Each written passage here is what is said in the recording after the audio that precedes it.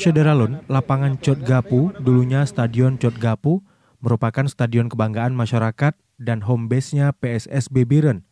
Setelah dibersihkan beberapa waktu lalu, pada Rabu 26 Januari, kini mulai ditanami pohon setelah ditetapkan sebagai ruang terbuka hijau perdana di kota Biren.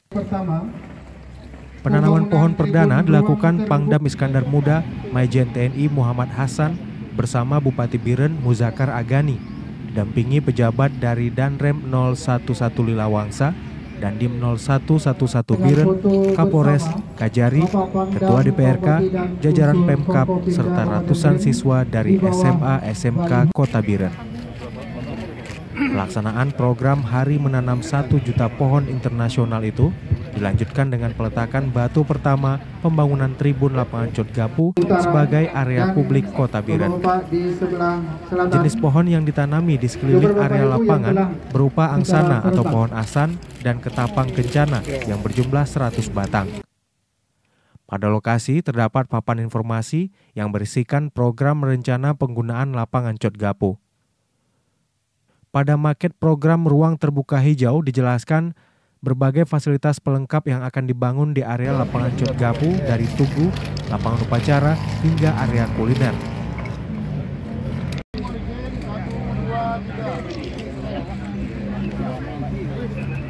Pembangunan lapangan Cot Gapu akan menghabiskan anggaran daerah sebesar 9,5 miliar rupiah lebih dan pada tahun 2022 sudah tersedia 4 miliar rupiah yang dialokasikan sebagai pembangunan tribun upacara dan area parkir.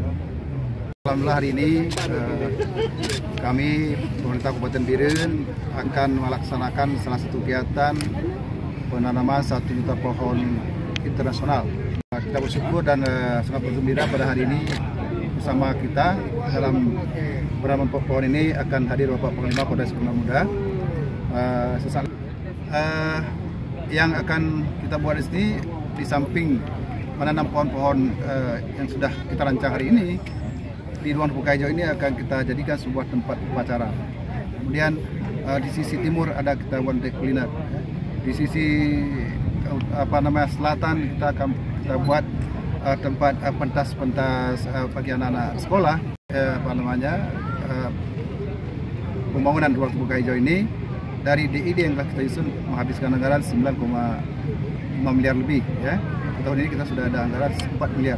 Setengah dari anggaran itu uh, nanti kita uh, memulai pembangunan tribun upacara dulu ya upacara setelah itu tiga miliar lagi akan kita buat area parkir Nantinya lapangan Cot Gapu akan seperti Belang Padang di Banda Aceh.